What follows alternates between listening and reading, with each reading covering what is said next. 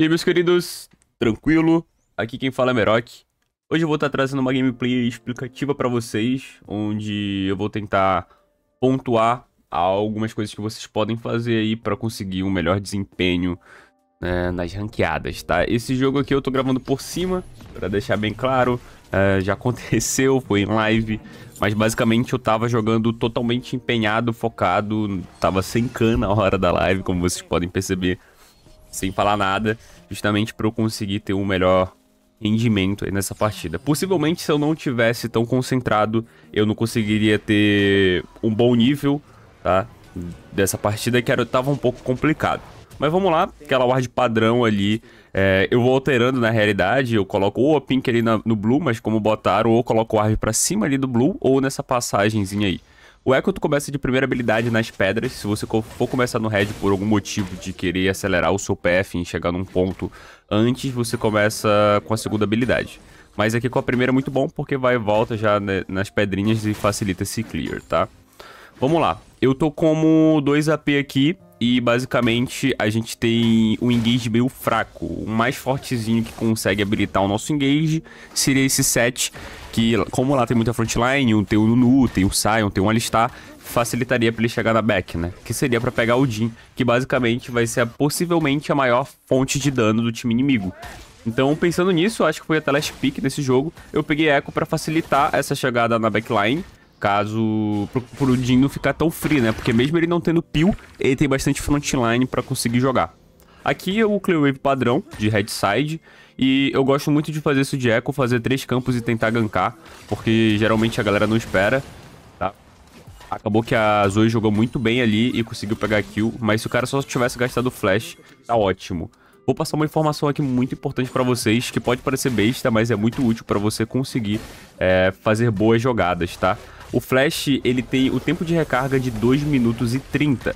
Então, se o cara flash, você sabe que ele vai ficar por 2 minutos e 30 sem flash. Tá rolando uma porradaria sincera agora. Sempre jogando aí na passiva do Echo, não tem porque eu estourar a passiva e continuar batendo. Acabou que o 2v2 ficou melhor pra eles, né? E eu só peguei o Aronga, mas tá de boa. Aqui Minhozinho? Tá, não cancelou o blue, tá de boa. Eu, eu consegui ter informação que não tava pra partir de, de cima agora. Meio low life, que ele vai pegar o Aronga. Eu tô sem pressão no top, mas eu tô com pressão do mid. E o Trash tá comigo aqui. A gente pode tentar comprar alguma coisa. Mas o Nunu faz muito rápido esse Aronga aí. Se pá, a gente gasta um flash? Acho que não. A, a não consegue fazer ele gastar o flash, não. Isso daqui foi um pouco troll, tá? Da nossa parte. Pelo menos essa movimentação até o aronguejo. Pode ser bom se eu conseguir roubar isso daí. Ok. Mas de qualquer forma, a gente perdeu um pouquinho de tempo. Eu tô com três campos up. A Zeri perdeu o minion ali por tá conseguindo farmar. A Zoe não usou muito bem a pressão dela, né? Do mid. Acabou que ela poderia estar tá continuando pressionando.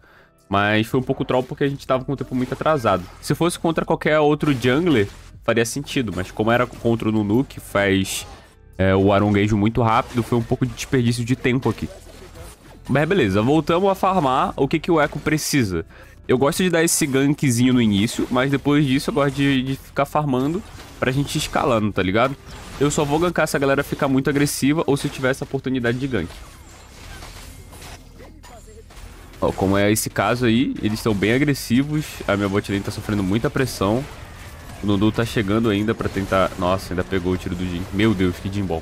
Conseguiu acertar todos os tiros. Botei mais pra cleanar o wave mesmo. Só ficou a catapa e não conseguiu crachar. Bom, aqui já começa um jogo um pouco ruim, né? 1 a 4 Eu pergunto pra você aí, que tá me assistindo. Quando tu tá num jogo que tu tá 001 e todas as tuas lanes estão perdendo, né? Já tá 1 a 5 Eu pisquei a galera já morreu. O que que você faz? Né? Tem muita gente que entra em desespero e, sinceramente, tem jogos que não vai ter o que tu fazer. Mas não importa, tu já tá jogando, tu já iniciou ali, tu já colocou a, pô, o teu tempo para iniciar a parada. Eu acho nada mais justo do que tu tentar até o final e encontrar possibilidades de voltar no jogo e entender, pô, é possível voltar? Porque uma das paradas que tu pode pensar é a minha composição no late game, ou seja, no final do jogo, ela dá para jogar contra aquela outra comp, vamos ir para um cenário que tá tudo igual. Essa composição joga com ela contra aquela outra? Se sim, você pode se abraçar nisso. Esse vai ser seu plano de jogo, vai ser você sobreviver até o final do game, amenizando as perdas, né? Porque você vai ter perdas porque você tá atrás. Então, olhar assim fica um pouco mais tranquilo para você conseguir enxergar possibilidades e você tomar as decisões. Tá 1 a 6 agora e tem um Jin muito forte batendo naquela torre do top. E eu basicamente só fico farmando, só fico farmando. E o que eu quero fazer? Eu quero tentar correr de luta aqui, porque a gente não consegue lutar. A gente não consegue lutar. Tem o, o Sion do outro lado, o, eles estavam com pressão na parte de cima. Eu basicamente optei por ficar pra cá. Mas assim, os caras estão tão fortes que tá vendo um Yasuo com o Sion para a gente, tá ligado? Mas ao mesmo tempo a gente conseguiu pegar recurso, que é muito bom. Eu e o Seth conseguimos uma boa jogada. E como eles se dividiram, isso aqui foi um erro na verdade deles, né? Por eles estarem muito na frente, eles quererem fazer dois objetivos. E é assim que você consegue voltar no jogo. Porque o time inimigo ele erra, o time inimigo ele não é perfeito, você não tá jogando com pessoas que não erram, sempre vai errar, independente do nível deles. Se eles forem pro players, se eles forem os melhores jogadores, eles vão errar. E é nisso que você vai se abraçar para conseguir é, voltar pro jogo também e entender que, seu, seu, que se o seu time erra, o time inimigo também erra. A gente conseguiu pegar Arauto, para abrir um pouquinho mais de gold e observa que deu uma boa implementada no meu gold. Tô 4.5, não morri nenhuma vez. Fui pra Tab Ninja porque o Jin tá muito forte, então eu decidi tancar um pouquinho mais e basicamente o único AP que tem do outro lado é o Nunu. Então eu vou me abraçar aí pro late game, vamos ficar farmando, tentar evitar o máximo de erro possível e jogar no erro do inimigo. Ele, a gente conseguiu bater um pouco ali na parte de baixo, né? Agora a gente já tá cleanando o blue side. O Di tá muito avançado faz muito tempo e eles não têm visão. Eu tô com uma movimentação do Trash. Observa que eu espero o Trash chegar um pouco mais próximo. O meu E conseguiu cancelar o combo aí do Alistar. E aí, acabou que o Jin errou. O Jin acabou errando o posicionamento. Ele ficou mais à frente do que ele deveria sendo que o Alistar nem estava tão próximo assim e ele não tinha informação de onde a gente estava. Então eles acabam ficando um pouco mais confortáveis por conta da situação. Com isso, o Jin já morreu duas vezes seguidas. O mid ali, eles saíram, acabou que tá even, o Sion tá pra parte de baixo, agora eles estão sem o Jin. A gente pode tentar agressivar pra bater um pouquinho nessa torre. O Yasuo tá no meio, agora é com certeza que essa torre vai cair. Eu já pinguei aqui previamente. É, pra essa torre não sofrer tanto dano, né? Porque basicamente quando você tá nesse snowball do outro lado, vamos dizer assim, que a gente já até conseguiu conter bem. Quando outro time tá com muita vantagem no início, você tem que proteger muito mais a sua torre do mid do que as torres das sides. Porque como eu expliquei no meu vídeo anterior, né? Inclusive eu vou deixar aqui nos cards, que é muito importante as dicas que eu dou lá, que é como você faz para melhorar na jungle, como você carrega o jogo na jungle né, alguns conceitos básicos e até avançados que você precisa entender para melhorar. E eu vou estar tá deixando aqui nos cards para caso você queira ter um pouquinho mais de implemento na sua gameplay, tá? É você entender um pouquinho sobre a linha de pressão. E quando você derruba essa torre do meio, a linha de pressão muda drasticamente, onde acaba que o snowball ele fica um pouco mais viável, né? Para quem não sabe, o que é snowball é o efeito bola de neve, que basicamente eles vão pegando recurso e vão conseguindo mais recursos e chega no ponto que você não consegue parar, porque já tem tanto recurso alocado no time inimigo que mesmo se eles errarem fizerem uma jogada errada, vai dar certo porque ele está muito mais forte. Então fechou, a gente tá sempre respondendo as waves aqui, eu tô ajudando a galera a conter um pouquinho essa wave para não sofrer tanto dano nas estruturas, tá? Isso daqui é muito importante, porque se o set tá tão fraco contra o Sion, ele não vai se garantir sozinho. Se vamos supor as 8 tivesse muito fraca contra o Yasuo, ela ia se garantir sozinho. Então você chegar na wave para ajudar eles a farmar, mesmo dividindo um pouco de experiência, é algo bom, porque você segura o jogo. A torre ela não derruba, entendeu? Então ela não toma tanto dano. Então, ficar por ali próximo, não farmar os minions necessariamente, mas deixar os minions um pouco mais fracos, né? Aqui eu já ultei previamente, porque se eu tomasse o controle de grupo ali, era morte com certeza. Eles iam ter uma onda de controle de grupo e ia ficar um pouco complicado. Isso daqui que eu fiz é, é basicamente anotar o flash do Jin. Como eu te falei, tem 2 minutos e 30, e, e basicamente ele é o mais importante do outro lado, né? Então se eu vi que ele flechou, eu tenho que colocar isso em mente. Agora eu sei que na próxima vez que eu for, no Jin, ele tá sem flash. Isso daqui é uma dica um pouco mais avançada que tu fazer durante o jogo é um pouco complicado. Tu não precisa digitar, tá? Tu pode guardar ali no, num, num potinho da tua mente. Pô, 10 e 30 aí o flash do Jim volta e eu vou jogar. Eu sempre coloco um pouquinho mais para baixo, né? De 2 e 30, tipo 2 e 20, dou aquela arredondada para ficar fácil de lembrar. E para tu ter essa noção, pô, eu tenho até esse momento para conseguir ir até o Jin, que eu sei como eu tenho flash ele não, eu posso fazer até uma jogada mais arriscada para conseguir pegar ele. E essa é a minha mentalidade desse jogo. Eu sei que quem ali pode, de alguma forma, me prejudicar é o Jin. Então, se eu tiver uma oportunidade de ir nele, eu vou. Boa, estamos jogando com a equipe aqui, batendo de boa, sempre jogando na passiva do Echo, tá? A história passiva não fica batendo no ataque básico, é muito ruim. É muito ruim. Sempre joga na passiva e depois volta. Agora o Jin foi muito pra frente. Boa, eu sei que ele tá sem flash. Tá, não deu pra ir por causa da torre. Zoe. Hum. Tá de boa, segue o baile. Dragãozinho daqui a 15 segundos. A gente tá com o meio resetado, o bot tá puxando lentamente pra eles. O top tá resetado também. Agora eu só quero fazer isso daí. Não gastei o meu smite pra gente tentar lutar no dragão. O Jin conseguiu ficar tranquilo ainda, né? Nesse ponto, possivelmente o flash dele já voltou. Então a gente também já tem essa informação que, pô, se eu for, eu tenho que ter certeza que eu consiga matar ou simplesmente pra tirar o flash dele, né? Aqui eu opto por já arautar na, no meio, porque se eles chegam dentro do pitch, que se eles quiserem estourar, ou não, não consegue garantir. Mas como a gente jogou o Arauto eles se dividiram, foi melhor ainda que a gente já consegue entrar um pouquinho melhor nesse pitch. Observa que o Yasuo está no mid ainda. Então eles estão com menos um durante alguns segundos dessa luta. O Dinho lutando muito bem, lutando lá pra fora. Contra Nunu é um pouco complicado de roubar. Quase a gente consegue ainda. Olha como tá dificultoso essa fight, porque o Jin se posicionou muito bem. Boa. Tá, aqui a gente perdeu o objetivo, mas a gente conseguiu ganhar a luta. Foi 3 para 1 e a gente ainda levou o meio. Tem que ter cuidado com o bot. E observa uma coisa, mano, que é muito, mas muito importante. Eu pingo a todo momento, basicamente. Eu quero fazer alguma coisa, eu tô pingando. Pô, vou pra lá, vou pra cá, faz isso, olha a wave, avança, recua, tô vindo pra cá, cuidado aí. Quando você pinga, você tá declarando a sua intenção pro seu time. Entenda, não tem como as pessoas saberem o que você quer fazer se você não declara essa intenção. Ninguém tem uma bola de cristal para isso, então tu tem que sempre estar tá declarando a tua intenção. E uma das formas que você consegue fazer isso é com a sinalização dentro do jogo. O ping é muito importante. Então coloca isso na tua cabeça pinga o tempo todo, declara a tua intenção. Tu viu o jogo adversário, pinga onde ele tá, principalmente no início do jogo, porque assim tu, tu tá conseguindo ver, mas às vezes o cara não prestou atenção. Então tu tem que jogar por ti e pelo teu time, entendeu? A gente sabe que tu luta pra parte de baixo, o Aristar acabou gastando flash, eu seguro um pouquinho ali o meu combo porque eu sei que ele tá com ultimate. E a gente conseguiu um abate. A informação que a gente tem é que o Yasuo tá pra parte de cima, então aqui vai ser um 4v4, já que o set tá dando B. E essa torre tá muito low, então a gente consegue possivelmente levar ela e dar uma continuidade na luta se for preciso.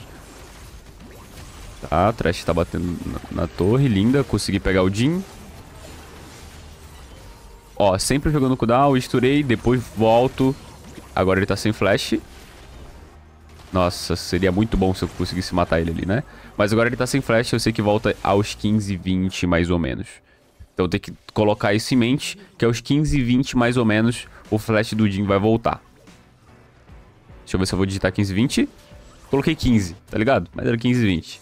Tá ótimo, que daí eu já jogo um pouco pra baixo ali a partir dos 15. Eu já sei que ele vai estar tá, tá voltando flash. Lembrando que eu jogo sem chat, né? Então, pra me concentrar um pouco mais no jogo, porque a maioria das vezes a galera não usa o chat pra algo útil. Então, uma outra dica que eu posso te passar aqui muta o chat. Vai na configuração e coloca só pra parte de grupo aliado, que daí você não vai ver o que as pessoas estão digitando. Estamos chegando próximo do dragão e vamos observar como é que tá o mapa, tá? Sempre se questionando como é que tá o mapa, como é que tá o jogo, o que, é que eu tenho que fazer, quem é o mais forte do outro lado, quem é o mais forte do meu lado, com quem eu tenho que jogar, onde que tá a pressão, qual é o nosso plano de jogo, que quais feitiços o time inimigo tem. E assim vai, a gente só ficou farmando até então. O bot tá puxando pra eles, eles estão empurrando pra nossa base. O top tá empurrando pra base deles, então tá algo bom. Aqui a gente conseguiu startar previamente e eles não conseguiram ter reação pra chegar. Então foi ótimo, já garantimos o segundo objetivo aí, né? Nesse ponto aí tá tranquilo, não tem nenhuma... Um ponto iminente na side pra gente ter que se preocupar. Acabei errando mecanicamente, mas tá de boa. Já voltei ali pra ajudar a Zoe, mas acabou que ela morreu. Já pegou o Jin na segunda habilidade. Daí foi totalmente sem querer, tá? Aqui, tipo, eu pensei, pô, vou pegar o Jin. Acabou que ele apareceu ali. Eu meio que tava jogando pra, posicionamento do Nunu. O Jin não tá morrendo, mas a gente tá conseguindo boas jogadas. Eu fiquei pro Barão aqui por quê? Você tem que entender que é improvável você dar GG nesse tempo de jogo quando tem duas torres vivas. O Nexus ele tem uma proteção que quando você leva duas torres seguidas... É, aqui eu queria voltar, tá? Com a minha última, mas ninguém entendeu. Mas enfim, segue o baile, a gente não fez o Baron. Quando tem duas torres seguidas, ou seja, é a T2 e a T3, e você leva, o Nexus ele ativa uma proteção que ele fica muito mais parrudo e fica muito complicado de tu levar. Muita gente se engana pensando que vai conseguir dar GG com a proteção do Nexus, e às vezes realmente você vai conseguir dar GG com a proteção do Nexus. Isso vai depender de quantos aliados você tem vivo, né? E como é que vai ser a força daquele momento e qual aliado inimigo. Qual aliado inimigo é incrível, né? Qual inimigo tá vivo. Então, como tinha um que tinha um Clear Wave, que ele conseguiu usar a terceira habilidade, ele tá muito forte, na primeira habilidade ele já clina muito a Wave, era bem provável que a gente conseguisse dar GG, ele iria ganhar um tempo. Nesse momento aqui, se a gente morresse, os caras iam pro Baron ia virar o jogo totalmente. Então é complicado, tá? Então é complicado. Já uso a, minha ultimate aqui pra dar uma recuperada de vida. Estouramos em aço. Ganhamos muito tempo. Mano, Echo ganha muito tempo se ele consegue o das zonas. É bizarrinho. Uma ótima luta aqui, foi 2 para 1. Gastei o meu Zones, mas foi uma ótima compra. É, sempre olhando como é que tá o, o, ponto de jogo, agora como é que tá o bot, tá empurrando pra gente. A partir dos 12 minutos a, as waves já ficam muito mais perigosas, porque já começa só a vir de catapa, elas vão alternando entre vem uma catapa, vem duas catapa, uma catapa, duas catapa. Então a partir dos 12 minutos, quando você consegue implementar esse ponto das sides, é muito forte, é muito forte. Porque tu leva uma torre brincando, pô. Tu leva uma tier 3, tu leva uma tier 2 brincando. E aí eu peguei o Jin e agora ele não escapa, filho. Agora vamos matar. Coisa linda, o Sion já passou ali voado, levou uma, levou uma torre. Olha o Wave ali no bot empurrando, quase chegando na T2. Pegando informação pra gente ali naquela parte de baixo. Jogando uma Wave na torre também que tá tirando recurso do adversário, o que é excelente. E vamos agressivando, e vamos agressivando. Eu tô com 18 participações de 22. Eu não peguei muita kill, mas de certa forma eu fui muito impactante nesse game. Conseguem perceber que o início estava muito ruim. E eu consegui manter a calma. Lembrar que no, no late game tinha jogo ainda pra gente. E que a gente conseguia é, eventualmente bater de frente contra os adversários. E chegando à vitória. Porque, como eu falei, os caras erram também. Nós erramos também. E a gente tem que aprender a jogar no erro do adversário e evitar o máximo de erro possível do lado de cá.